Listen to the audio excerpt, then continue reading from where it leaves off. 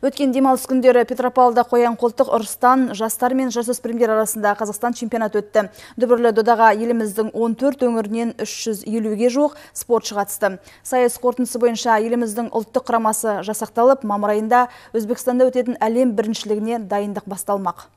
Қоян қолтық ұрыстан елдің ең үздік жауынгерлері Петропавлда бас қосты. Әлем біріншілігінің жолдамасы сарапқа салынатын бұл додаға кіл мықты бар жиналған. Солардың бірі Алматыдан келген Олег Пехотин. 17 жастағы бозбала қоян қолтық ұрыстан спорт шебері. Жас жігіт жасөспірімдер арасында аралас жекпе-жектен әлем және Азия чемпионы. Қарсыластарын қоғадай жапырып, жекпе-жекті уақытынан бұрын аяқтаған алматылық спортшы енді осы жетістігін әлем чемпионатында қайталауды жоспарлап отыр. Ну вот, сейчас чемпионат мира Бухара. Әлем чемпионаты Бұхарада өтпек. Ақырында пересектер тобында өнер көрсетуге жақындап келемін. Бұл спорт түрінен де әлем чемпионы атануды жоспарлап отырмын. Менің қолымнан келетіндігіне сенімім мол. Елімізде жекпе-жектің осы түрмен айналысатындардың қарасы жыл сайын артып келеді. Соның бір дәлелі осы турнир. Ұйымдастырушылардың айтуынша қатысушылар саны былтырғы Талдықорған қаласында өткен жарыстағыдан көп. Жарыстың деңгейі өте жоғары.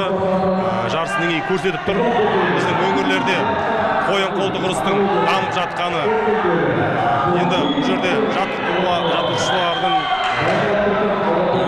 несін айтып кетуге болады жаңағындай жұмысын жастармен осындай жұмыс жүргізіп жатыр бұл дегеніміз енді бізде болашақта одан сайын арға алдыға қарай сүйрейді деген ойдамыз Сайысқа қатысушылар үш жас санатында бақ сынады. Естеріңізге сала кетейік, жарыс жеңімпаздарынан еліміздің ұлттық құрамасы жасақталады. Олар мамыр айында оқу жаттығу жиындарын өткізіп, Өзбекстанның Бұхара қаласында өтетін әлем чемпионатында ел намысын қорғамақ. Әміре Ақбатай, Кирилл Потемкин, Анатолий Беланок, жаңалықтар қызметі.